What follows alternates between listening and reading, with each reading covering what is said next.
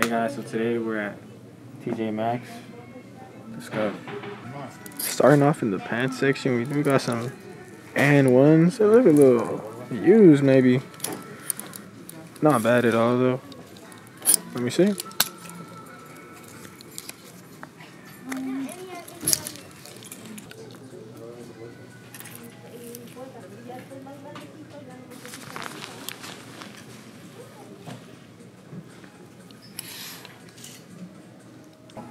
For the hats, I mean, oh, this one's pretty cool. The Dodger one. But, yeah, nothing too special here. Not, nothing that I see. Mm.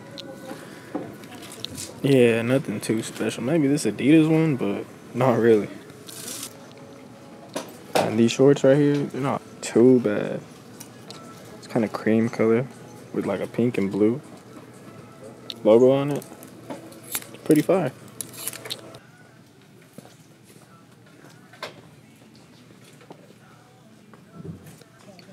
No of good sweaters here. Still got these weird designs on. I mean, this Under Armour jacket is pretty cool. It's the only nice thing I've seen because.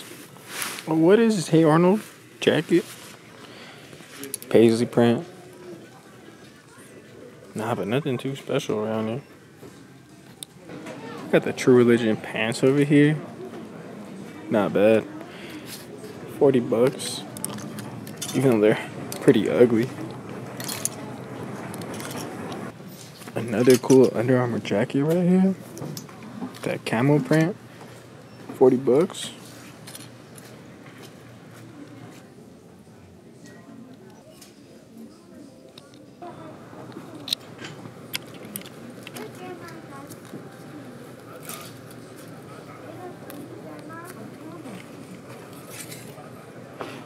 Wow, I think this is the best thing I've seen today. Bob Ross bobblehead, seven dollars. God damn! For you guys that don't know, I'm a huge Bob Ross fan. Like, I even tried to paint because crazy. I'm gonna have to pick this up.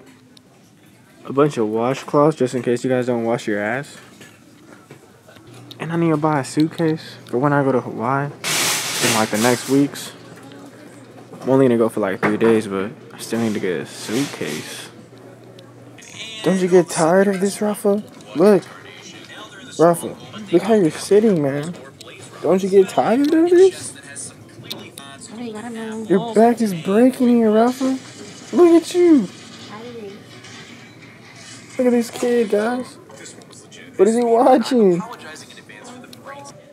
St. Patrick's Day around the corner. This guy looks like my grandpa.